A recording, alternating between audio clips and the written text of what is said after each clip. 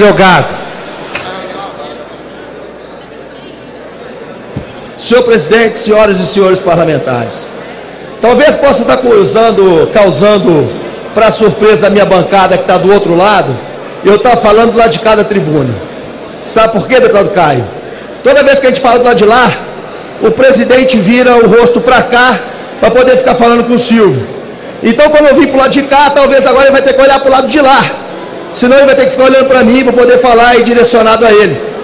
E eu estou aqui falando aos deputados que nós estamos mais uma vez retomando uma sessão, né, conduzindo e tocando uma sessão, como se não tivesse acontecendo nada no parlamento, senhoras e senhores deputados, na Câmara dos Deputados.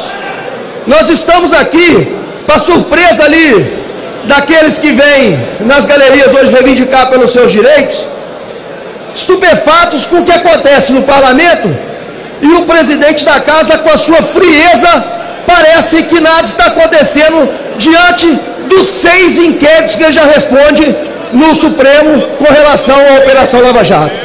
Gostaria de dizer ao deputado Eduardo Cunha que ele já é o campeão dos parlamentares. Ele é o que tem mais processos na Operação Lava Jato. Tem uma denúncia já reconhecida, já é réu. Tem outra denúncia oferecida, aguardando julgamento. E tem mais quatro, quatro inquéritos instaurados. Deputado Moroni, essa semana ele bateu um outro recorde. Ele tem um inquérito aberto na Justiça da Suíça por movimentações das contas que ele nega serem de sua propriedade. Deputado Eduardo Cunha conduz essa casa como se nada tivesse acontecendo. Nós do PSB, a bancada do PSB, na semana passada, tomando algumas decisões, e decisões importantes. Uma delas é fazer a continuidade daquilo que muitos deputados começaram na semana do, na semana do dia 17. Quiseram, lá para o lado do parlamento, fazer no executivo a separação que tinha que ser feita e a limpeza na outra casa. E eu fiz um levantamento, deputado delegado Éder Mauro. Dos 367 deputados que votaram a favor da instauração do processo de impeachment aqui da Câmara, na hora da votação, daquela fatídica votação, nós tivemos 17 que justificaram seus votos com base nas chamadas pedaladas fiscais. 350 votaram por outros quaisquer motivos. 350 deputados que votaram sim justificaram outros motivos, senão aqueles que foram colocados a justificativa. A doutora Janaína Pascoal, que foi ao Senado essa semana justificar, na semana passada, a continuidade do processo e a abertura definitiva no Senado, ela deixa claro, ela fala que a fundamentação se baseia em três pilares. Quem acompanhou o depoimento sabe disso. E não pode ser levado em consideração só a Lava Jato, só as pedaladas. Aqui, na Câmara, nós vamos ter que colocar seis pilares.